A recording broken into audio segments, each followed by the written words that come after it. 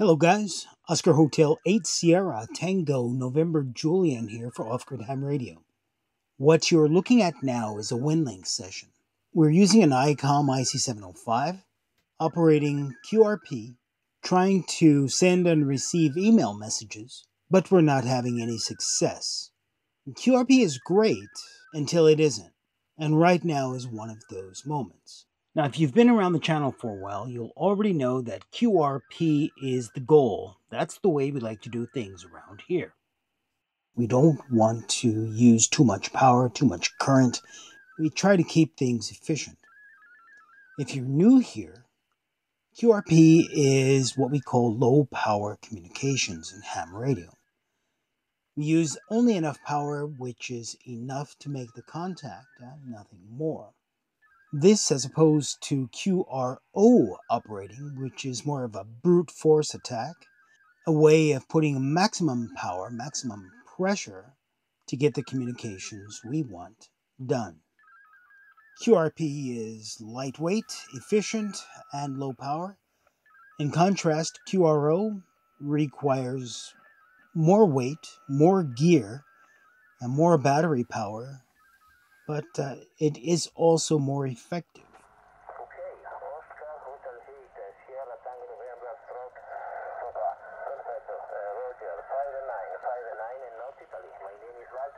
Now, the reason this particular WinLink session isn't working out is propagation. Propagation doesn't always cooperate with us, and sometimes we need to either change an antenna configuration or uh, Worst case scenario, we need to brute force that connection with more power. So here I'm using 10 watts, which is normally absolutely enough to make these type of connections. Unfortunately, if propagation isn't cooperating between myself and the station I'm trying to connect to, that 10 watts might not get us above the noise floor for the receiving station. In a grid down scenario or some type of disaster, where we need to get that message out, that brute force approach is definitely going to be advantageous. Now, there are several reasons we might not be able to make that connection. Of course, as I already mentioned, solar conditions or propagation. Also, distance to target. Maybe our antennas are configured for NVIS uh, or regional communications, but the station we're trying to reach is further out and uh, our antenna configuration doesn't allow it. Mm, the terrain. Maybe we can't uh, shoot an azimuth outside of a valley. We're surrounded by mountains or things like that. And again, the antenna configuration isn't allowing us to make that contact. Or perhaps there's QRM, simple interference or noise, man made or otherwise, which is uh, preventing us from again achieving that contact. In theory, 5 to 10 watts can do amazing things. We've seen it on the channel and I've practiced that for years and years and years. Unfortunately, radio and propagation don't always agree, and they don't always play well together. So, when you absolutely have to get that message out, and you've tried everything else, perhaps what we need, when we need to be heard, is an HF amplifier. Now, the HF amplifier isn't a replacement for QRP, and we don't want to suggest operators will always try QRO first. QRP should always be our standard operating procedure. However, when our situational emphasis is on emergency coordination, tactical messages, preparedness, or just getting that WinLink connection to that distant RMS station, it's absolutely okay to deploy an HF amplifier. So we've decided that yes, okay, an HF amplifier in our toolbox is a great idea. So what specs matter the most when we're in the field? Now, to be fair, all of these are equally as important, but um, depending on how we operate or where we operate or what type of gear we're able to carry, we'll put more importance on some of them than the others. But that's up to the individual operator.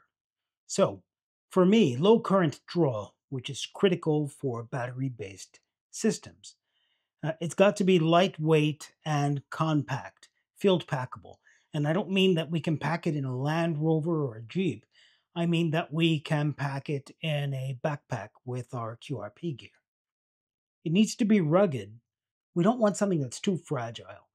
It's going to break out in the field, and there's no point to take anything like that out there. It needs to have a wide voltage input, for example, 11 to 15 volts. This way we can run it directly off of our lithium iron phosphate battery or 12 volt lead acid. An integrated antenna tuner is nice to have, but uh, anyway, it's optional. And an efficient final stage. I don't know if you guys remember, but years ago, I did a current consumption test on the Yaesu FT891. 22 amps for 100 watts. Today I have a portable amplifier that can also do 100 watts, but it's only pulling about 10 to 12 amps maximum. Efficient final stage, because this is going to help us with the amount of batteries we have to carry along to power our stations. Now, with all that said, when we consider current consumption on receive, transmit efficiency, size, and weight. There's only really one amplifier that meets or exceeds those requirements, and that's an amplifier you've seen on the channel before. It's from Delta Lima 4 Kilo Alpha. It's the PA500 HF amplifier. Now I have two of them here. I have the PA500, the standard model, and I have the PA500E Echo, for expedition. I'm going to show them both to you. So there's two different models of the DL4 Kilo Alpha PA500 amplifier. There's the basic model, and the specs for the basic model are 60 watts of RF output. Uh, it can handle an input drive up to 5 watts, uh, operational range 80 meters through 10 meters, I receive current draw, I've measured about 50 milliamps at 13.8 volts. Transmit current at 60 watts, about 10 amps at 13.8 volts. built-in antenna tuner, uh, passive cooling, and the case is CNC machined aluminium.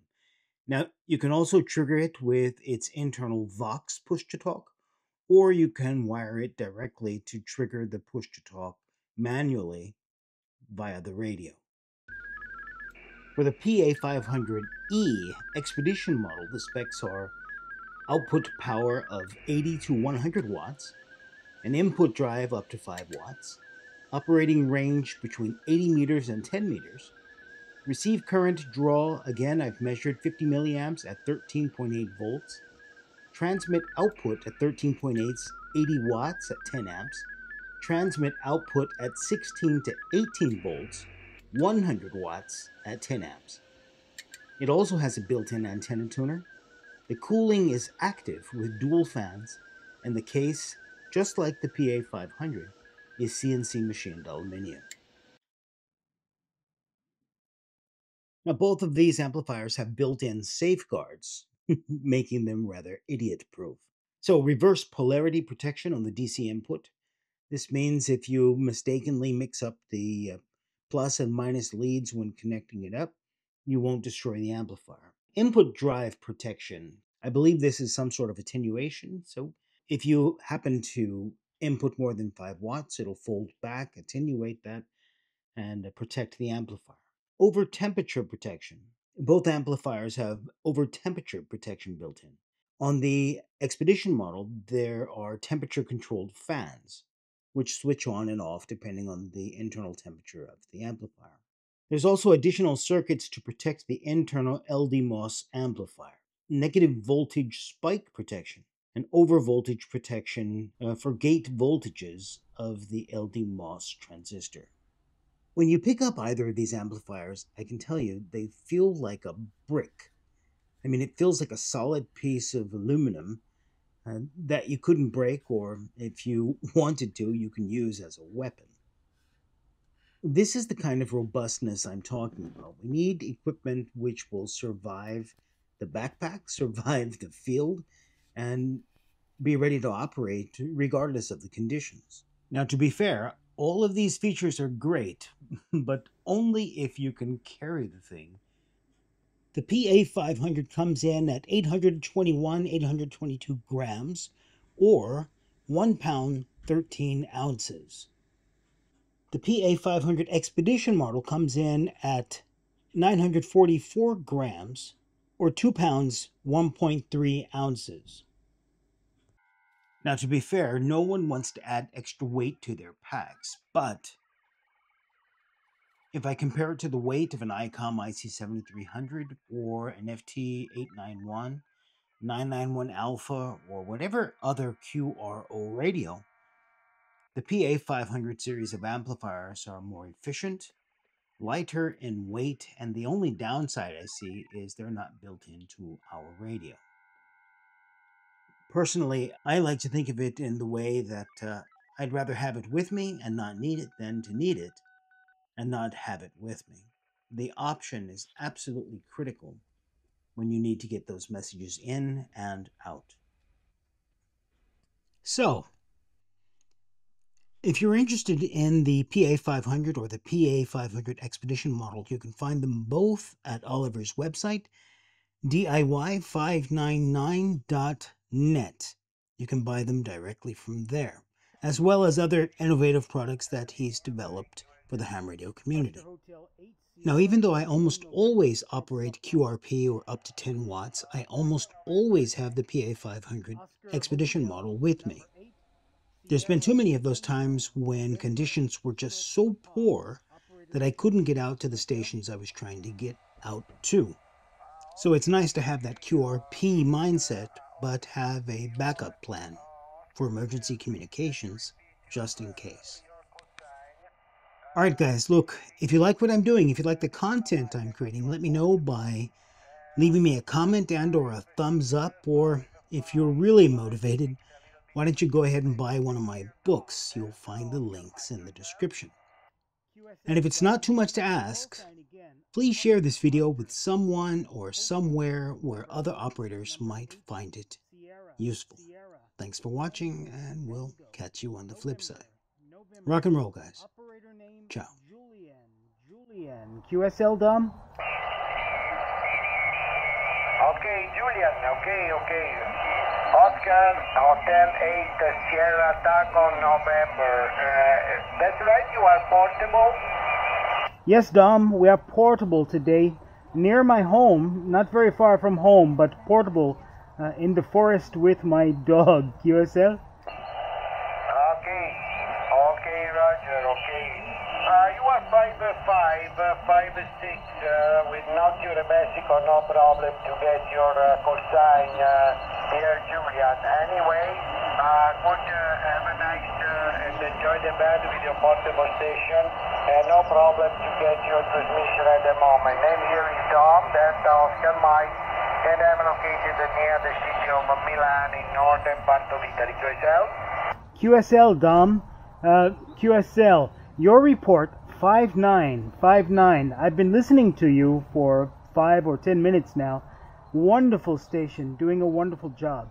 We are located